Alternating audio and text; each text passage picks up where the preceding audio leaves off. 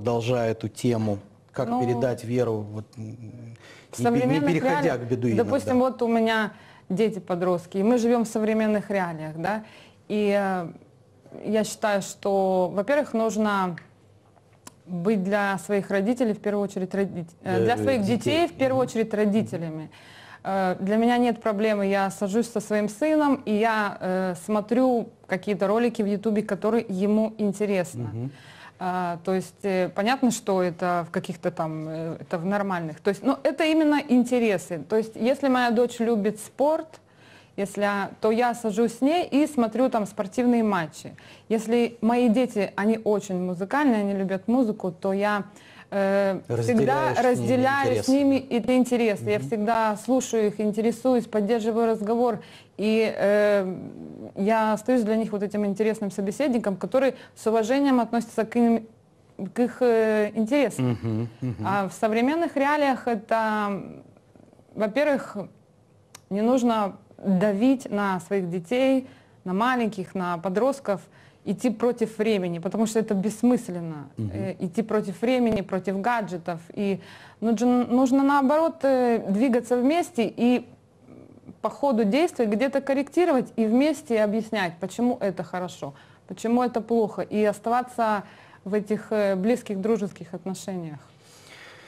Да, я вспоминаю Добсона, э, который говорил, ну, это христианский психолог, как раз для детей, э, для родителей, которые должны были стать наставниками для своих детей. Он говорит, что никогда не получится так пр- просто посадить э, ребенка и начать читать ему лекцию э, о Боге.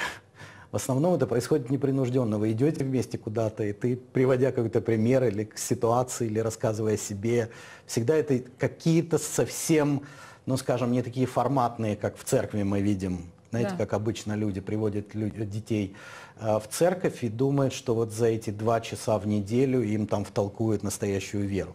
Хотя в этом случае, конечно, свой опыт и свой пример очень важен, как Авель сказал.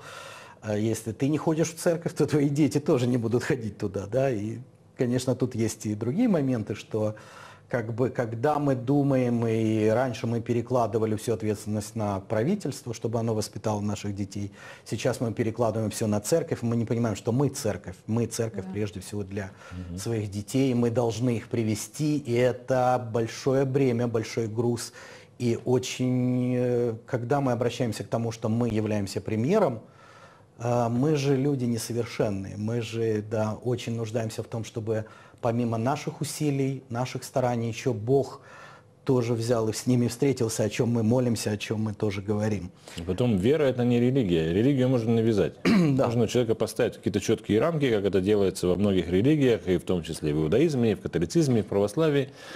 Но это не будет верой. Человек должен верить Богу. Он должен верить, что Он существует, приходить к Нему, и ищущему Его тогда И Бог на самом воздает. деле потому дети, что- они очень хорошо это считывают, эту фальшь. Они чувствуют, когда ты действительно э, человек, который живет в вере, они действительно видят, когда ты действительно веришь, Что или тебе- ты, или тебя ты, это значит, да. или ты действительно находишься в каких-то в какой-то рамке религии и пытаешься его э, загнать в эти рамки, и у него происходит, естественно, э, он хочет убежать от этого Конфликт, да. конфликта. внутри.